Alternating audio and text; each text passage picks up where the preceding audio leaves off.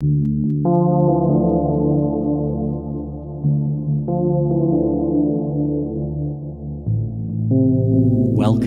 to Nature Therapy Online.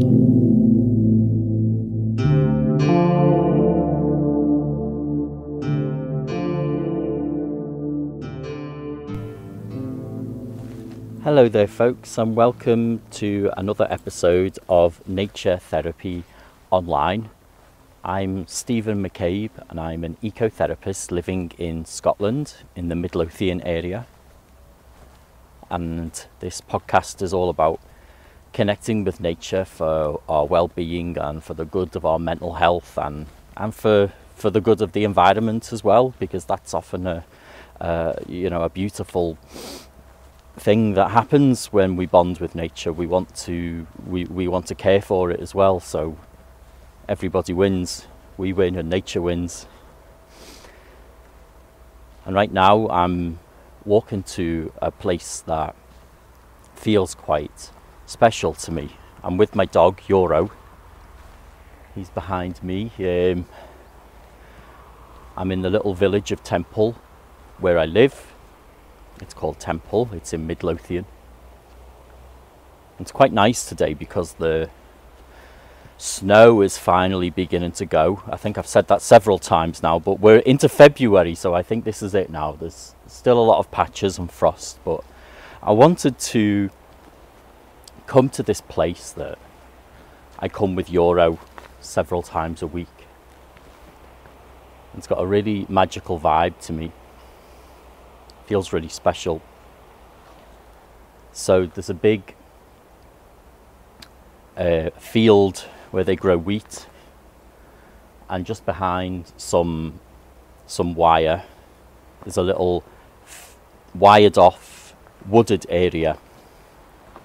And it's only quite small, and there's a road in front of us, so you come past the wheat field into this wooded area where I've just come now, and where stood at the top of the hill on this wooded area and looking down an embankment onto the road into the village. And I don't know what it is quite about this space that feels special to me. I guess there's a few things about it, and the more I pay attention, the more I realize that there's so many unique things about it. And the reason that I wanted to do a podcast here today and on this theme is because I want to invite you to find and connect with a place that feels special to you.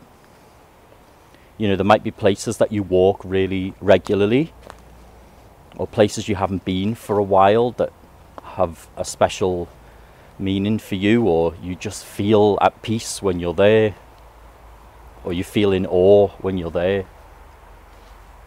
And I want you to visit that place sometime this week and pay really close attention.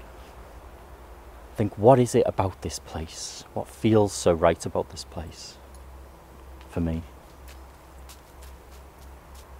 And I want to talk you through some of the things here. So, in this little wooded area, first of all, what I love about it is that it's been reclaimed for young children as a forest school.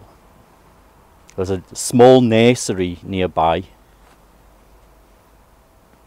pre primary school, so the kids are toddlers basically. And I think it's so lovely that they've made these little wooded huts purely out of sticks and branches.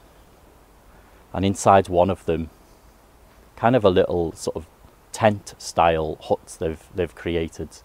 There's a tiny desk so I really like that forest schools are becoming a thing again for young people. I think it's so important for children. How magic to be out here and to learn. And I look in those places and it sets my imagination soaring. And I think, wow, it's such a, such, it must be such a great thing to be a, a child and to be learning in there. Your shelter is pure natural materials. But but it's not only that. I mean, I like that's this aspect of it. So I can say that it captures my imagination. But there's another thing, and I'm coming up to it now. A really simple thing.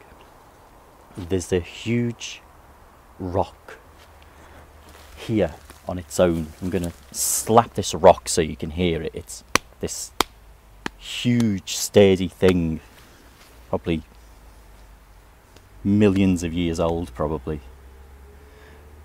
And this also captures my imagination. I walk through this wooded area and I always feel the need just to lean down and to touch it on the way past. Just give it a little touch. It feels like a like I'm practicing some some mythical code, the rock that must be touched on the way in.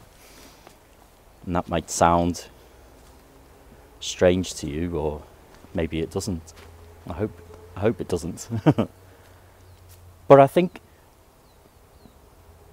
the more that I've connected with nature over the last four years, because up until around four years ago, I wasn't connected with nature at all. Not in my adult life, anyway. But one thing that I have started to appreciate is the type of things that I would do as a child, and maybe maybe you would do as the child, but haven't done for a while either. Like going into a special place and feeling like it's important to touch a particular tree or sit down in a particular spot for a moment. Like it almost has some mythical meaning. And I think we should pay attention to those urges and those almost uh, those desires that we have sometimes that don't seem to make any sense. Because there's something about touching this huge rock that's amongst all of these all of these gorgeous uh, pine trees in here and I think hazel I think are the smaller trees there's something about doing that that feels really respectful to this place it's almost like this is the rock at the entrance and in my mind uh, I am entering this special zone um, by touching the rock I'm acknowledging to myself I'm in a I'm in a place of nature right now. So I guess imagination is another part, but also maybe that touches on themes of, of ritual and, and you know, ritual doesn't need to be something huge and elaborate and something that we do with costumes or, and at a special time in a special place, although it can be all of those things, but it can be as simple as walking in a place that you love and just having a, your own little routine with it and respecting it and thinking not everything I do needs to make logical sense. Because sometimes when we bond with nature, certain things don't make logical sense, but they make emotional sense. So that's another thing I love about my special place, and, and the reason I'm telling you these things is, I guess, to give you some ideas when you go and, and, and visit your, your, your, your special place yourself this week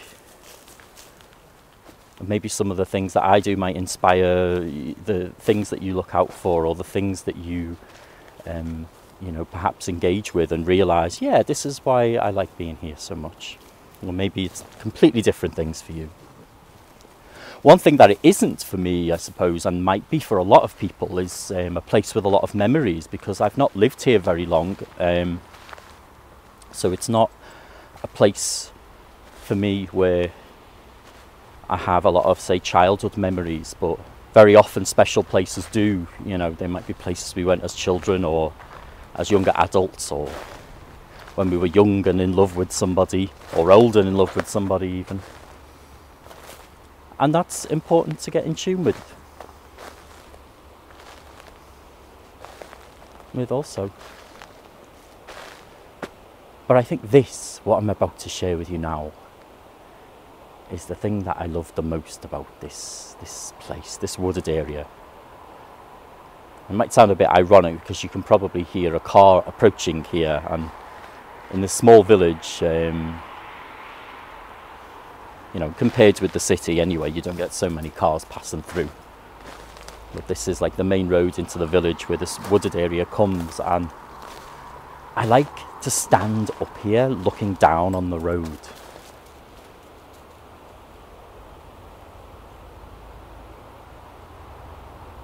I like to see this this entrance to the village and all of this, you know.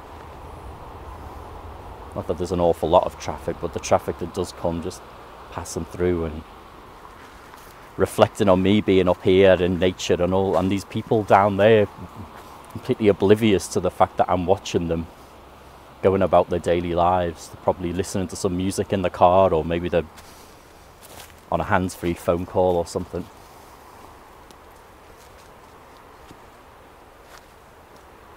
The yeah, this sense of of being able to watch. This sense of being high up and and, and I guess safe and, and hidden. I think it's there's something for me nice about feeling feeling like I'm not on display, you know, with lots of people walking around. And I think that that's such a, a an important thing with nature as well. Sometimes, you know, we always think that privacy is something that is uh, achieved only by going home and closing our doors and hiding ourselves from the world. But the most beautiful kind of aloneness rather than loneliness, I think, is being out in nature because sometimes we class aloneness as something human related only. You know, sometimes when people come to visit my house, they look over the back garden and they say, Wow, there's nothing there because it's the first place I've ever lived that isn't, you know, completely surrounded by buildings and flats and houses and, and whatever, you know, it's, it's, it's fields and trees. And I love it. But when people say there's nothing there, and they say it in a nice way, like they're like, wow, isn't that a nice view? I think there's so much there, you know. I can see all those trees, I can hear a river, uh, you know. There's little animals and rabbits scurrying about. There's plenty here, there's just not people. And I think that's what I like about this place also, you know, standing high up, looking at the cars going by, or maybe people walking past occasionally on the way in and out. And me feeling connected to everything, but without having to. Without having to entertain and without having to be the centre of anything, just being a part of it all. I feel like standing up here and watching everything. I'm a, I'm like one of these trees here, you know.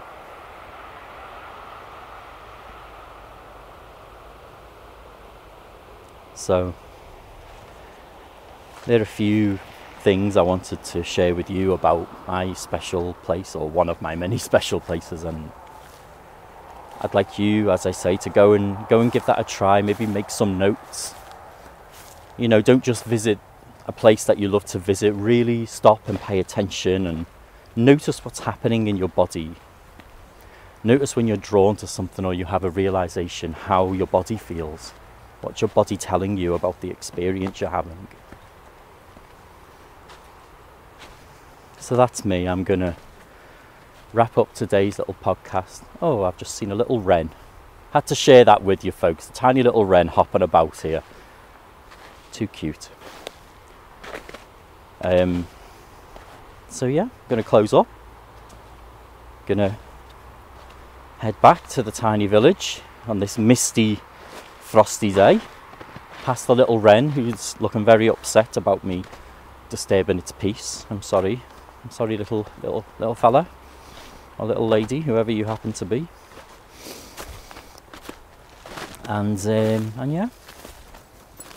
Before I head off, I'll just say if you're interesting in, in signing up to a, a nature therapy program and working with me online to connect with your local landscape and connect more deeply with your local nature, you can find out everything I'm doing at naturetherapyonline.net. And I'm also on Patreon at patreon.com forward slash nature therapy online. And um, yeah, you can perhaps support me monthly with a little donation and get some access to our regular nature chat groups, really lovely little community that we do. Um, you'd be very welcome. So, so I'm going to leave the plugs there for today, folks, and let you get on with your day. And thanks a lot for tuning in and enjoy nature this week. So take care for now. Smiles from Scotland. Bye bye.